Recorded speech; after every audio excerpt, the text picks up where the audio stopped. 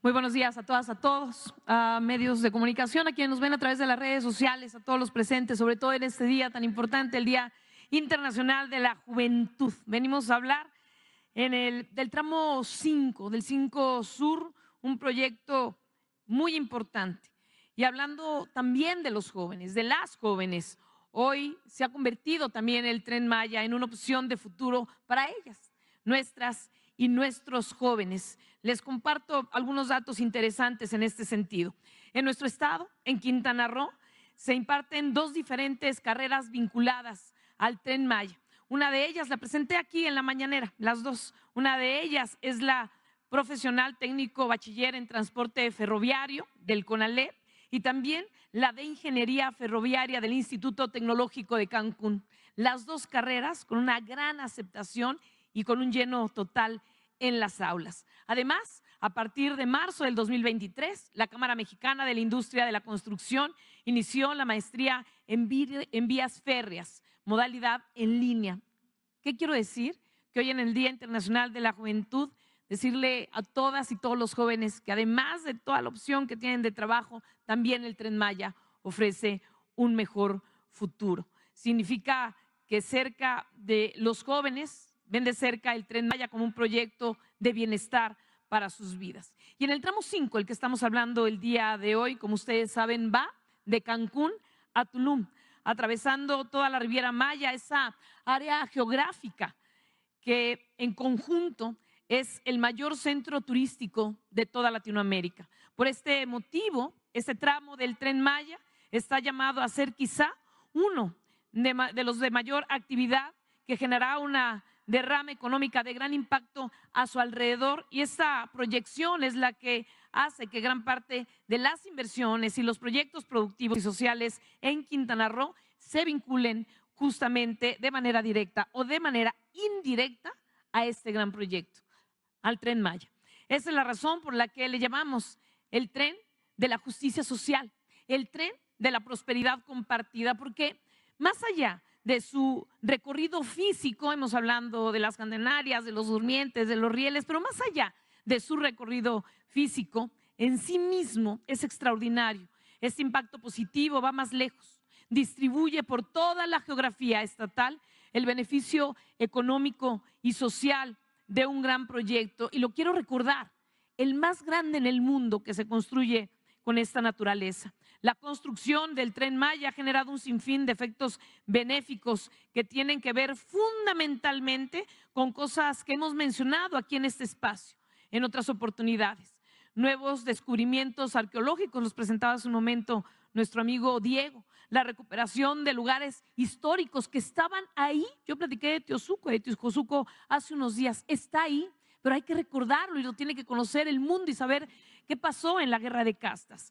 La renovación de comunidades que están sobre su paso y en sus alrededores y proyectos de economía social y cooperativa, de movilidad y por supuesto turísticos.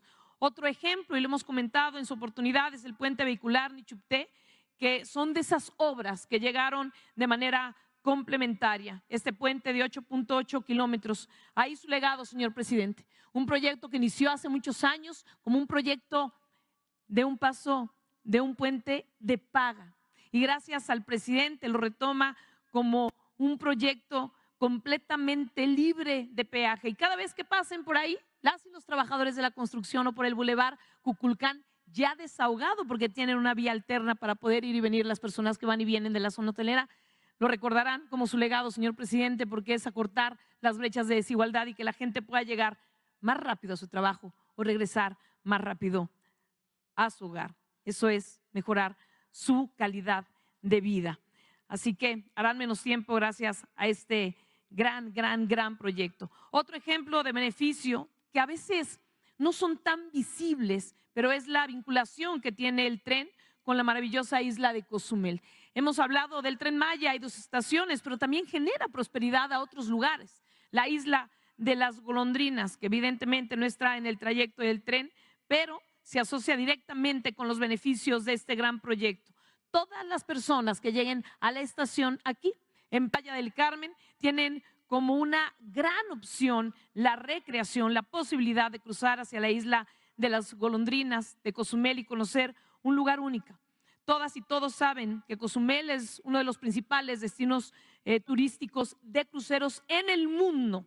Así que más de dos millones y medio de pasajeros de cruceros han llegado en estos primeros meses. El año pasado llegaron entre 5 y 6 millones, pero Cozumel es también un lugar con extraordinarias bellezas naturales, culturales, gastronómicas. Es más allá que un destino de cruceros. Hoy el tren Maya a través de la estación de Playa del Carmen nos da la oportunidad que miles y miles de seres humanos puedan conocer lo que ahí se ofrece, puedan conocer este gran, gran, gran destino turístico que es Cozumel. Y como nota al margen, les digo, y me complace comentarles, que ha crecido el número de pasajeros también al Aeropuerto Internacional de Cozumel, aproximadamente un 16.7%. Y esos pasajeros que llegan a este aeropuerto también tendrán la oportunidad de hacer un cruce a Playa del Carmen y conocer toda la ruta y nuestra maravillosa cultura milenaria maya. Y también permítanme hacer un breve alto, ya que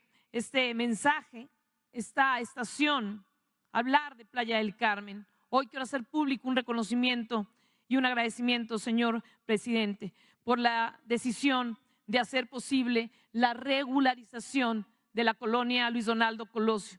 Eso es parte también del gran legado que dejan como otros proyectos el tren Maya.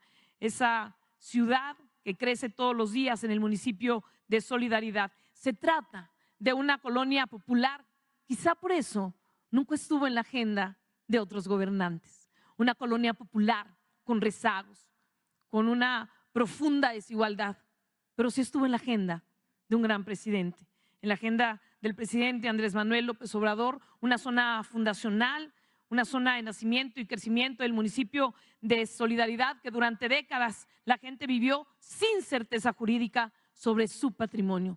Imagínense a las madres mordiéndose las uñas de los dedos porque no sabían qué iba a pasar con el lugar en donde viven sus hijas y sus hijos. Y para solventar esta situación se ha hecho un reconocimiento de derechos sobre los lotes para esas familias. No son una persona o dos, son familias. Son adultos mayores, son madres, son padres, son hijas, son hijos. Es un logro histórico social, una gestión que hicimos, que platicamos en su momento, pero como parte del nuevo acuerdo por el bienestar y desarrollo de Quintana Roo, se logra gracias a la voluntad política de un presidente que gobierna pensando primero en las demandas sociales de quienes menos tienen. Y eso es sumamente importante, pensando en los derechos olvidados o negados de las y los más necesitados. Y el tren hizo aún más visible la necesidad de resolver esta demanda. Es decir, no solo voltear a ver los grandes destinos turísticos, es voltear a ver los flagelos, los dolores, solventarlos y arreglarlos. Por eso, de verdad lo digo con la mano en el corazón, se resuelve una demanda histórica de dar certeza jurídica a miles y miles de familias, de miles y miles de playenses. Le agradezco, señor presidente, infinitamente a nombre de casi cuatro mil familias que ahora tendrán certeza sobre su patrimonio, que es, como dije, un derecho que se le había negado por más de tres décadas. Pero recorramos el tren rápidamente, siguiendo la ruta que genera su paz, avanzando unos kilómetros. No podemos olvidar el Parque El Jaguar en Tulum, un área de protección de flora y fauna que tiene la particularidad de ser un parque ecológico, recreativo, que promueve el turismo cultural y natural. El objetivo es conservar la naturaleza del lugar, a la vez que esas bellezas naturales se convierten en atracciones culturales, recreativas y turísticas de bajo impacto ambiental. Son más de 2.900 hectáreas que incluyen zonas de preservación con espacios para el disfrute de la gente, senderos inimaginables, zonas arqueológicas, torres de avistamiento, acceso a playas, por primera vez, por primera vez completamente gratuitas. Las playas no deben de ser exclusivas para quien puede pagar, deben de ser para todas y para todos. Esto tiene el Parque de Jaguar, experiencias únicas como cocinas de humo para degustar la riqueza cultural local.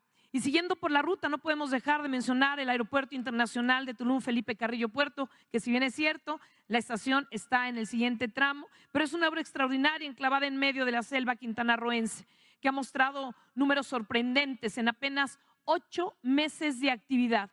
entre diciembre del 2023 y julio de este año se han movilizado casi 670 mil pasajeros en 5.200 operaciones aéreas. Pero lo realmente impactante es la progresión de ese crecimiento. Escuchen este dato. En marzo hubo algo más de 5 mil pasajeros internacionales.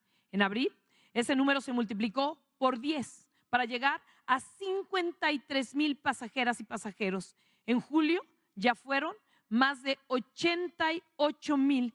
¿Qué significa esto?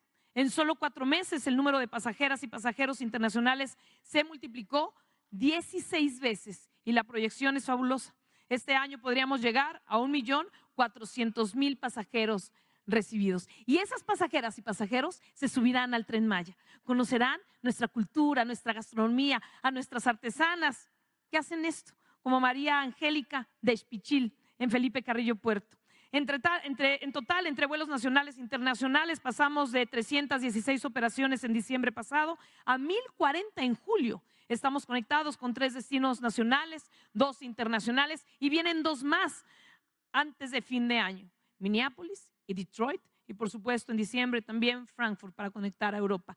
Toda esa gente se va a poder subir al tren Maya. Por supuesto, son datos que he mostrado y son hitos trascendentes alrededor del proyecto del tren Maya en este tramo. Por ejemplo, el impacto ha generado en áreas económicas aledañas como la construcción, que ha crecido a gran ritmo. Dato relevante, porque en Quintana Roo fue el, fue el estado con el mayor aumento en su actividad industrial en el mes de abril, con un 8.7% de crecimiento, también ligado a la prosperidad compartida que trae el tren Maya. Hacia el interior de Quintana Roo hay decenas y decenas de comunidades que se benefician, quizá no todos lo saben, pero en Tulum y en Solidaridad, que si bien es cierto, son conocidos internacionalmente por sus bellezas extraordinarias, naturales, por su infraestructura turística de nivel internacional, también hay muchas comunidades rurales, indígenas, a donde también llegan las vías de la transformación. Los están acercando a un mercado del que estaban muy, muy, de verdad, muy cerca geográficamente, pero infinitamente lejos de la realidad. Hay en esas comunidades la certeza de que el tren Maya les cambiará su presente y su futuro de que sus costumbres, su cultura, su gastronomía, su particular riqueza natural y geográfica pueden convertirse en una opción de vida por medio de cooperativas o pequeños negocios que brinden servicios a los visitantes conservando su identidad, jamás perdiendo su identidad y ya no tener que pensar en un futuro que había solo entre dos opciones radicales.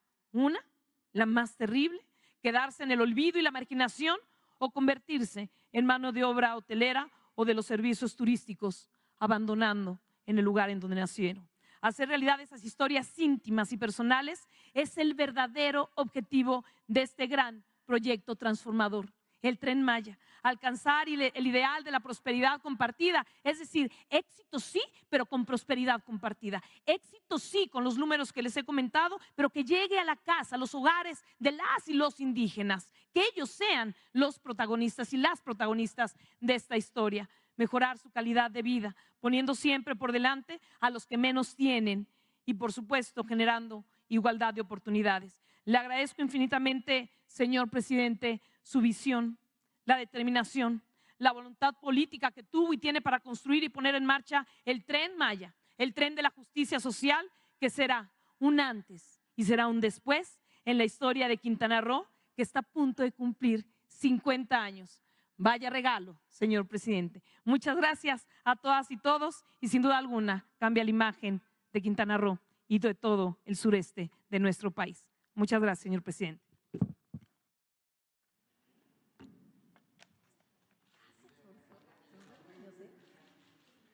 Bueno, vamos a, vamos a, vamos a aprobar. Eh, falta un video de 10 segundos. Es, ah, pero 10 segundos. Vamos. Gracias. No te preocupes.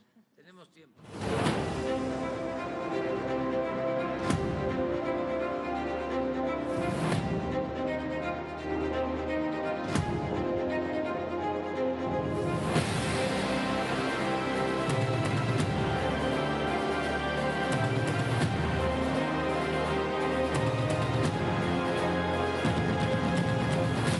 Gracias, señor presidente, por este apoyo que se le está dando a la colonia Colosio, aquí en Playa del Carmen.